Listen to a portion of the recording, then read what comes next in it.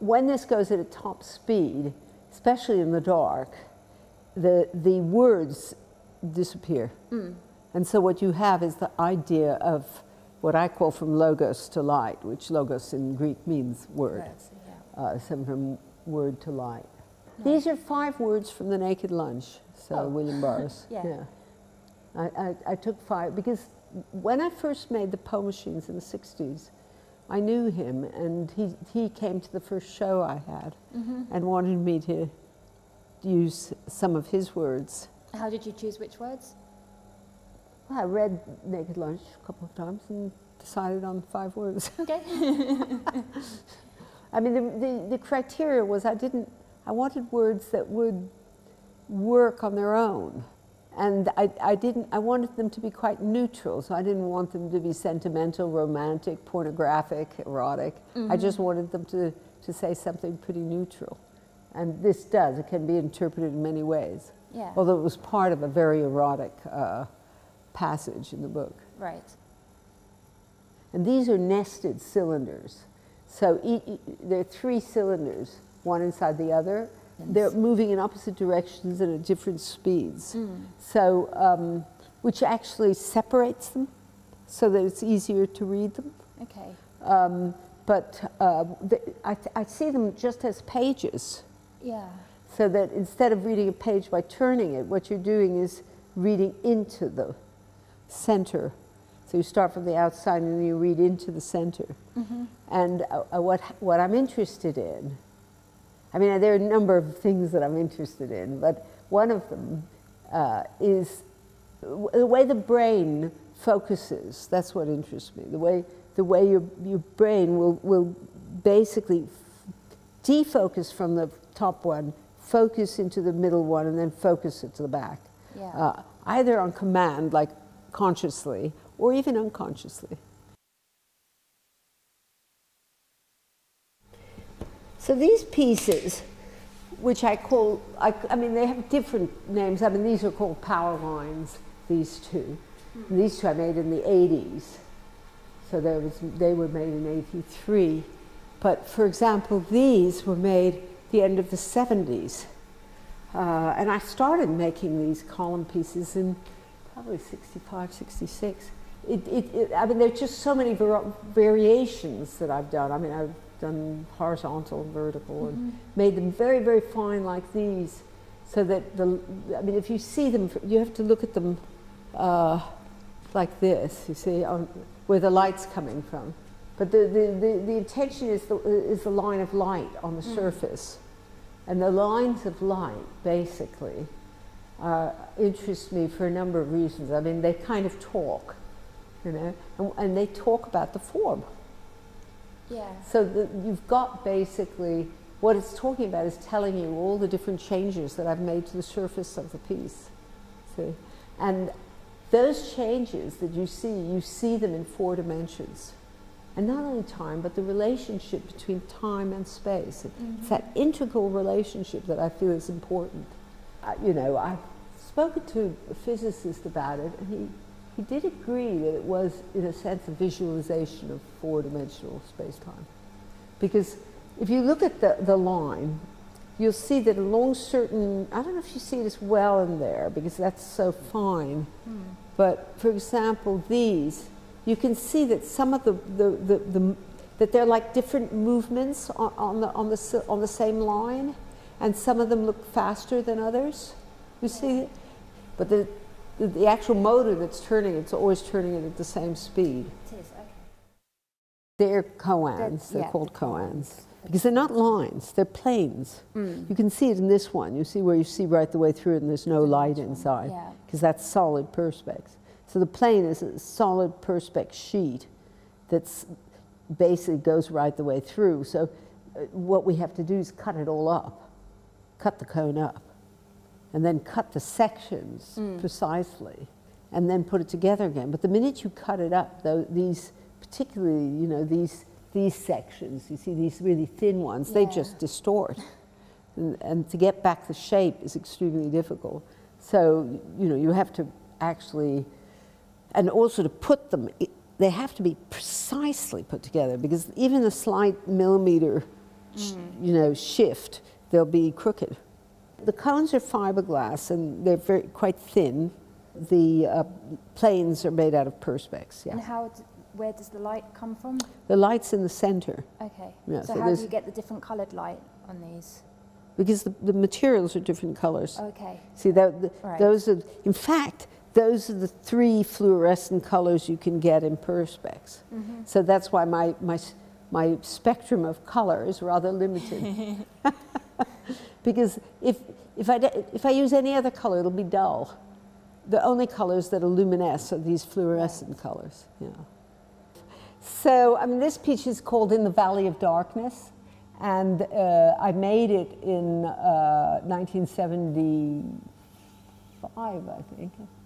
Uh, 75, yeah. And it's made out of optical glass prisms and uh, steel. It's basically five figures, but I've, I've, I've worked with prisms for a very long time, and at, at, at a certain point, I, I felt that prisms really were heads, you know, it, because they were like, like minds, you know, because they transform, because they see and then they transform what they see. Uh, and, and they're basically tools for seeing, you know. So I, I felt that they were always the head, and they had this kind of, uh, for me, they just had, you know, all the different shapes that you could get had a kind of extraordinary figurative quality, you know. So um, in a way, they became like totemic for me. And uh, I started making firstly very small pieces and then larger pieces which were in cases. They were always in cases uh, because, because prisms are fragile. And then also because I, I felt that they were other, you know, that their, their relationship to my world was a relationship that was separated uh, by their otherness. And they became about, um, I made a whole series which was about uh, rites of passage, passage from birth to life, from life to death, this sort of thing. Basically, one of the things I found that this, the prisms didn't need to be very large uh, because they're, they're basically conductors of light. So something that's a conductor of light is in a sense a very, if you think of it in a spiritual sense, it's, it's something spiritual, it's something high. Uh, so um, I thought, I realized that you didn't need a great deal of spirit or of light in order to illuminate. See? And that was something, uh, to me, seemed an important realization. Uh, and, and so I realized I could make these much larger. And, th- and then I started making full size ones. And then from the full size ones, I started making um, actually larger than life, and they became archetypes. Right. Right. And, and f- so these were sort of a mix of drama, because in a sense, the minute you put five figures together, you're enacting a drama. You know, there's, there's something going on between them. And, and then pieces like uh, the, the two pieces there, Conjunction of Opposites, which I made in the late 80s, uh, well, throughout the 80s, 83 to 86, um, they're, they are drama. They're a six minute drama. So they perform and they interact with each other. And they use sound and light uh, and interconnect the sound with the light um, and movement. They're made out of aerogel, and aerogel is silicon dioxide. And uh, it's, it's like a microscopic web. There's more air than there is matter, 98% air. That's why it's so transparent. So if you walk around it, it changes color. What, even in the daylight? Yeah, even in the daylight, uh, because it depends on how the light. If the light is going through it, you see it one color. If the light is reflecting off of it, you see it another color. Then I project video onto these images.